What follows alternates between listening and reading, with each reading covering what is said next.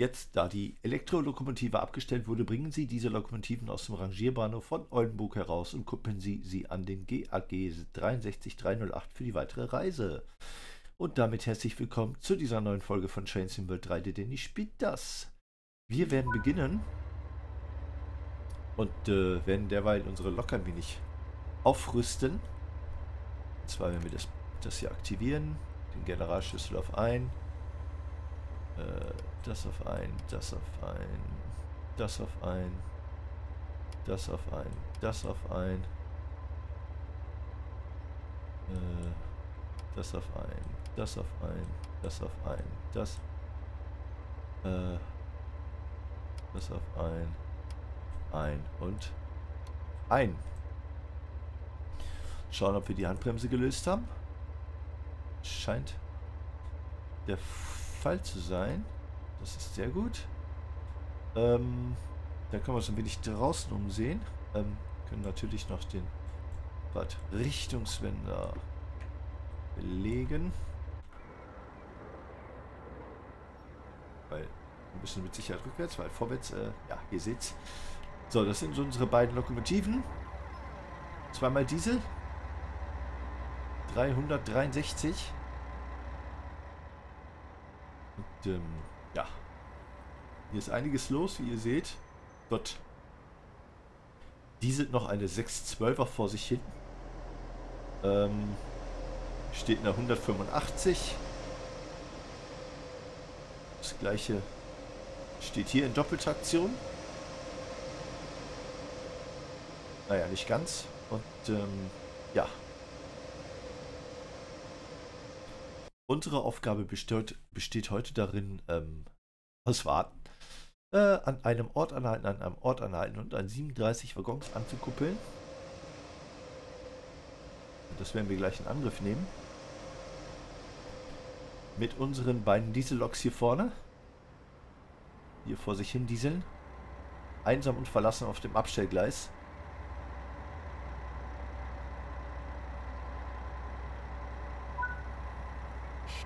So, lösen die Bremsen. Schalten langsam auf.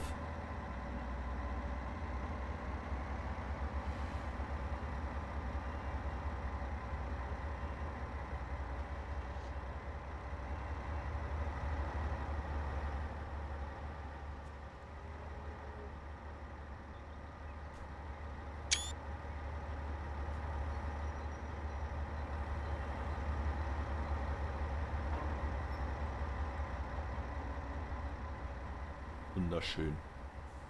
Wunderschön.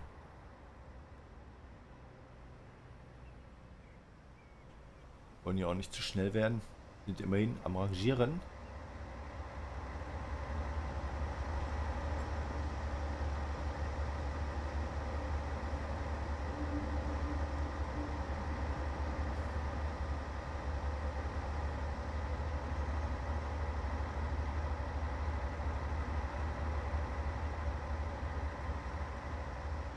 In 400 Metern haben wir dann auch schon anzuhalten.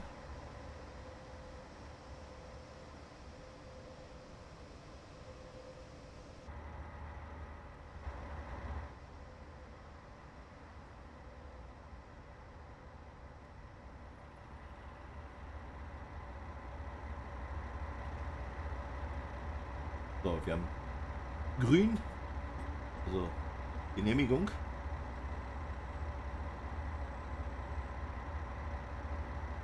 So, da vorne gleich ist unser Zielpunkt.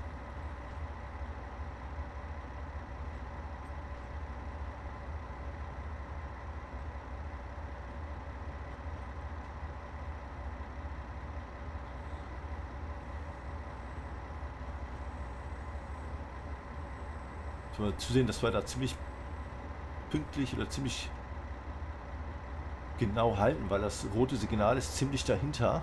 Da will ich nicht drüber sausen. Schon mal die Leistung wegnehmen.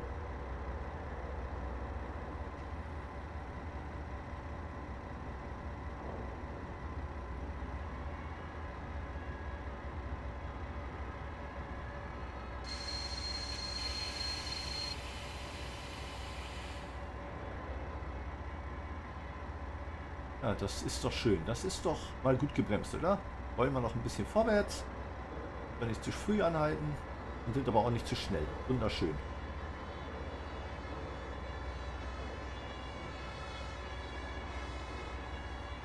So, jetzt noch mal zwei Minuten warten.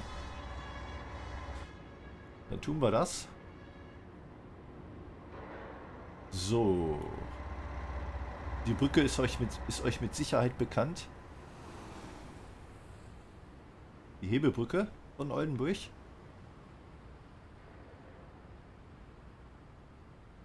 Vielleicht wisst ihr auch noch, wann genau die immer hochgeht. Also es soll immer um 40 sein. Das heißt, wir haben das leider verpasst. Ähm, aber nichtsdestotrotz, ähm, ich habe ja schon bereits ein Video davon hochgeladen, wie das hier vonstatten geht mit der Brücke, die sich hebt und senkt. Schaut gerne da mal rein. Ist sehr sehenswert. Ähm, ja, also das ist wirklich ein sehr schönes Spektakel. Haben sie sehr schön animiert, muss ich ehrlich sagen. Und ähm, von dort aus oder von dort kommen dann die Schiffe, die hier unten durch müssen. Und deswegen wird dann die Brücke samt den Gleisen gehoben. Und ähm, ja, dann ist der Zugverkehr, der Straßenverkehr komplett eingestellt. Solange der Prozess hier dauert. Also wirklich ein sehr lohnenswertes Video, das ihr euch da anschauen könnt. Gibt es wie gesagt schon zu sehen auf meinem Kanal.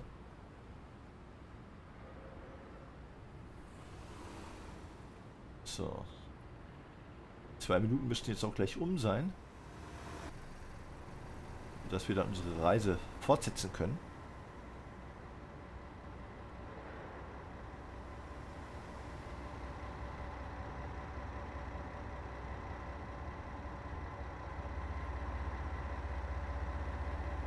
363 671-2. Gewicht Lok 54 Tonnen. Aus dem, BD, aus dem BW Köln-Nippes. So. Wir fahren in die entgegengesetzte Richtung. Das heißt, äh, wir machen den Fahrtrichtungswender nach vorne und lösen die Bremsen.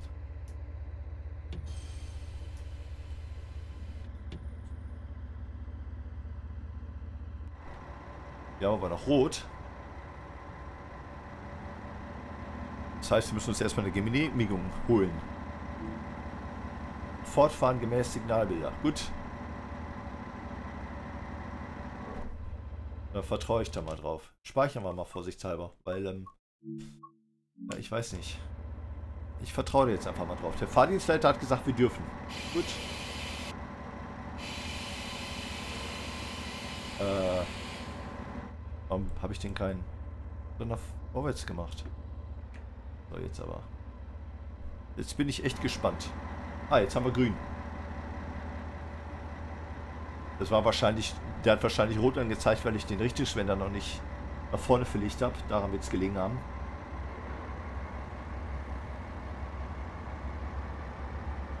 Also ich lasse beim, beim Rangieren grundsätzlich die Zugsicherungssysteme aus.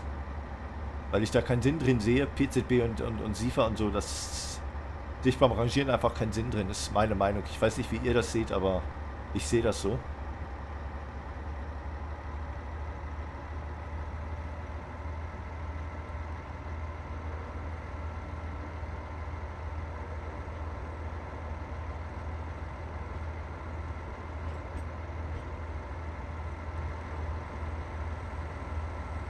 So ist doch auch mal schön zu fahren, oder? Wie seht ihr das? Kennt ihr noch die von früher, diese Rangierer, die auf den Lokomotiven so mitgefahren sind? Weil früher sind die Rangierloks und so, die sind ja früher nur ein paar Meter über den, über, über, äh, über, den, über das äh, Bahnhofsvorfeld gefahren. Wenn das ein besonders großer Bahnhof war und äh, um die Wagen halt zusammenzustellen und so weiter anzukuppeln und so. Und die sind meistens früher so haben sich dann hier so festgehalten an dem, an dem, dem äh, Gestänge hier und äh, sind dann halt so mitgefahren. Also so ungefähr ist das jetzt auch, was ich hier mache. Also wirklich eine sehr schöne Ansicht, wie ich finde. Man sieht nur ein bisschen schlecht. Aber dafür hat man ja den Lokführer vorne.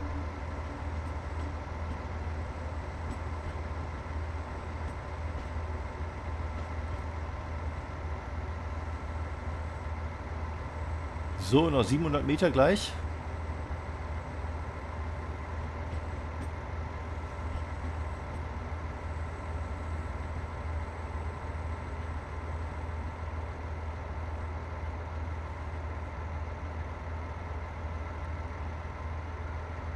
So, dort steht noch ein IC1 abfahrbereit im Bahnhof. Bahnsteig 6, 7 müsste das sein. Ja, 7.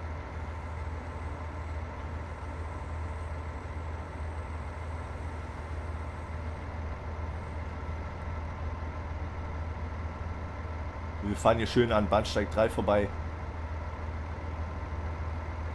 Ah, morgen beziehungsweise Mahlzeit, wir haben schon Mittag fast. Mein Güte, hier ist aber viel los. Lecker funny. Worauf wartet ihr denn alle? Fernverkehrszug oder Regionalexpress? Holla die Waldfee. Übrigens, da wir da gerade bei sind, ihr habt es wahrscheinlich auch mitbekommen durch die Medien. Zum 1. Mai diesen Jahres soll das 49-Euro-Ticket äh, herauskommen oder gültig sein, wie auch immer. Und ähm, Mal eine kleine Frage an euch. Kauft ihr euch das? Ähm, ist wie gesagt nur für Regionalexpress gültig. Nahverkehr und Regionalexpress und ähm, halt Busse und so. Ähm, wird es wieder so voll wie bei dem 9-Euro-Ticket, die Züge, oder äh, wird das entspannter? Was sagt ihr? Also würde mich auf jeden Fall sehr interessieren, was ihr dazu sagt, ob ihr euch das 49-Euro-Ticket kaufen werdet im Monatsabo oder ähm, ob ihr euch sagt, nee, danke, diesmal nicht. Und äh, was glaubt ihr, werden die Züge diesmal genauso voll oder eher nicht? Also ihr könnt mir da gerne eure Meinung zu sagen in den Kommentaren. Würde mich auf jeden Fall sehr freuen, wenn ihr eure Meinung da zu lesen. So, jetzt sind wir angekommen.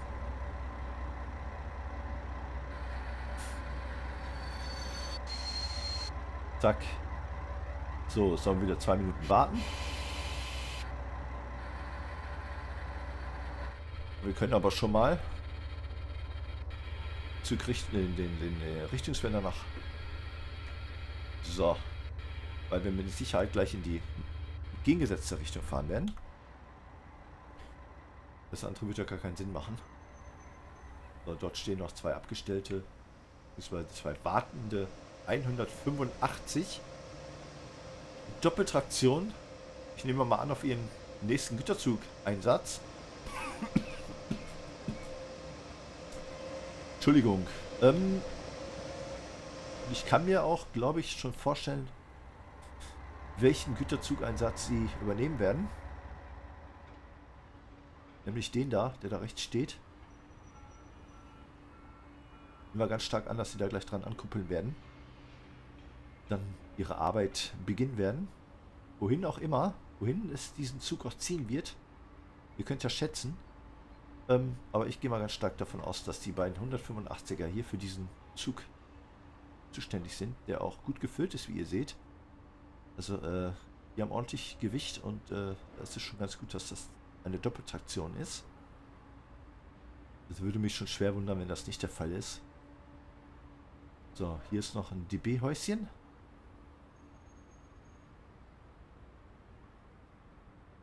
Ihr seht, höher kann ich gar nicht. Wunderschön.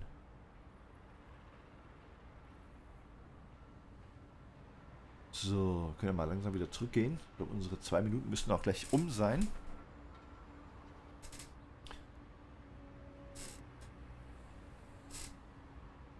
Und dann geht's weiter.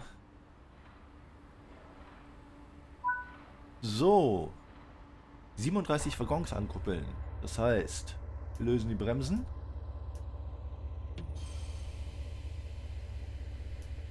und äh, machen uns auf den Weg. Wir müssen jetzt aber erst äh, Stellwerk kontaktieren. Fortfahren mit reduzierter Geschwindigkeit. Ja, wieso ähm, haben wir denn immer noch rot? Achso, 600. Ah. Ach, jetzt muss ich genau drauf achten.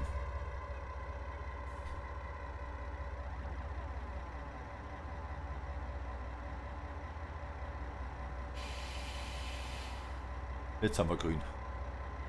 Ach, der jetzt, der zeigt das, der hat das noch nicht registriert, dass wir in diese Richtung fahren. Deswegen hat der rot angezeigt in 600 Meter. Jetzt verstehe ich.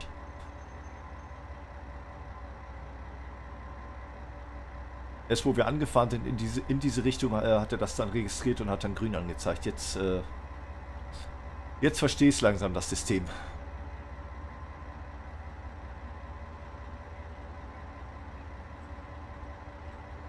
So, 15 km/h. Ich denke, das reicht. Oder wir da gleich irgendwo...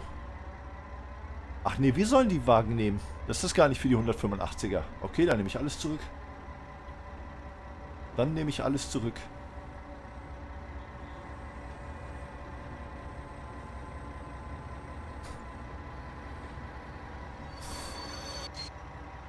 Boah, das war aber holla die Waldfee. Naja. Es war ein bisschen unsanft, aber es hat, den, es hat geklappt. So, steigen wir mal hier runter. Hat. Kuppeln das Ganze an.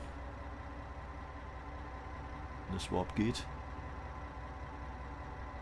Ach, wir müssen erstmal die Kupplung. Genau, sonst funktioniert es ja gar nicht. Die Kupplung senken. So, und jetzt können wir ankuppeln. Zack. Dann wieder hinauf.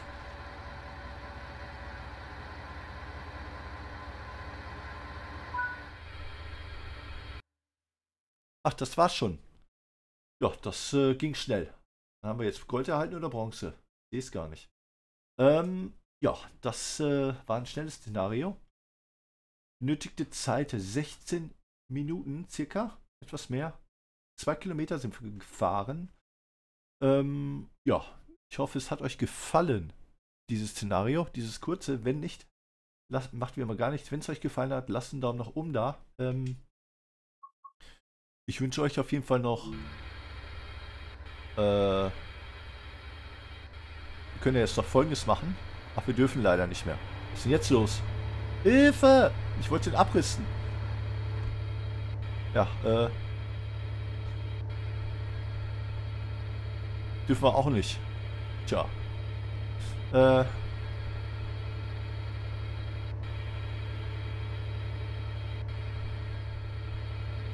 Tja, ich würde sagen, raus ist jetzt schlecht.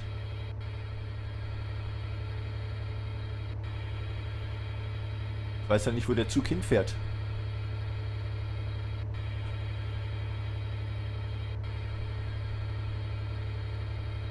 Jetzt fängt es auch noch an zu regnen, oder wie sehe ich das? Um Gottes Willen.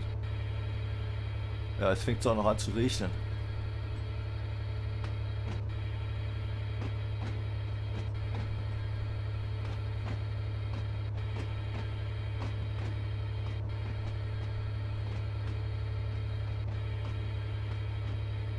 Ja, ähm, ich würde sagen, da wir ja nichts mehr machen dürfen können sollen, können nur noch die Türen öffnen und rausspringen, weil das äh, will ich jetzt auch nicht.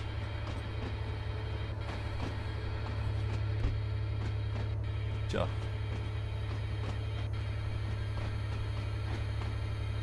Äh, wohin dieser Zug jetzt fährt, keine Ahnung. Ah ja, gut, dann hat sich das dann auch schon erledigt. Ähm, wie gesagt, wenn euch dieses Szenario bzw. dieses Video gefallen hat, lasst einen Daumen nach oben da. Wenn nicht, macht wie immer gar nichts. Ähm, ich wünsche euch noch ein schönes Wochenende bzw. einen schönen Restsonntag. Habt eine schöne Woche, passt auf euch auf. Ähm, ja, ihr, ihr hört mich dann in einem nächsten Video wieder. Macht's gut, bis dahin. Würde mich freuen, wenn ihr in einem der nächsten Videos wieder mit am Start seid. Habt eine schöne Zeit. Bis dahin, euer Dennis Spieters. Ciao, Servus und Tschüss. Bye, bye.